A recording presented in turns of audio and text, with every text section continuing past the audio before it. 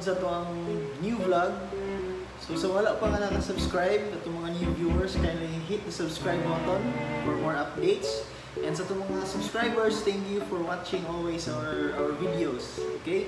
So today, ang atong vlog is uh, nalang i-feature nga helmet which is usan is akong mga idol nga helmet no world class so di nato dugay-dugayon pa let me introduce to you KYT NFR Biomech so good news guys kani siya exclusive siya sa Philippines no as you can see na siya flag sa Philippines exclusive siya sa Philippines dayon na ba siya ICC stickers so napalit na ko ni sa Manila. Thank you so much sa, sa nagbaligyan ni no. Okay, so brand new ni siya. Tapos naka clear lens. Siya clear lens. Ang size niya is medium. Tapos ang price ani is nasa around uh, including the shipping nasa almost 8,000 no almost tapos, nakanindot, naka-dual visor na siya. Dual visor. Alright. Dayon. Uh, ang iyang lock dire, dili lang siya quick release.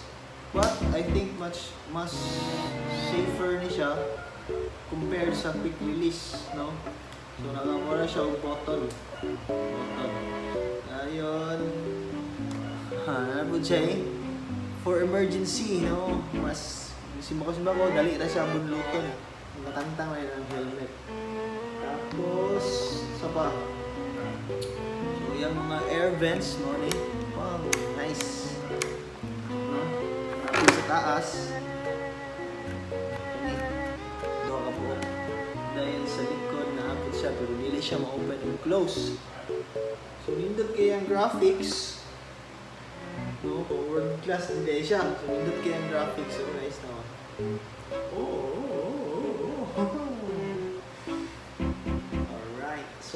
lang ani is kuha daw ang mga NFR. Kusog daw siya og wind noise. Muna daw ka og nagsakay og aeroplano. No?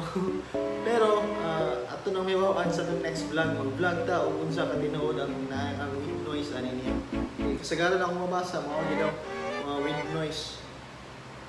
So, nindot din siya guys. So, visually. Tapos, alright. Na yun. Uh, next week siguro, mawag itong TT course. So, matong next na ito nga review. Okay. So, itry na ito ang fitting. So, ang ulo is 57 cm. So, based sa ilang guide, uh, medium lang to. So, sakto, medium sa me. So, yan na to ang fitting guys. So, ang tarong na eh. Wala ba pa puto na Ginagawa mo. Oh, ay ginawa si Valentino Rossi.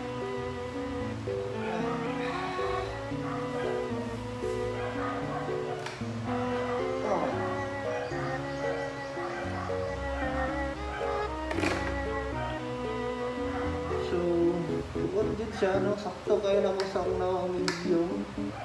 Bukod siya dire, dire, dire, dire, sakit. So, dapat guys, kung pili mo full face, dapat uh, sakto yun mo or fit kayo nimo kay ang full face is naka-design siya for racing.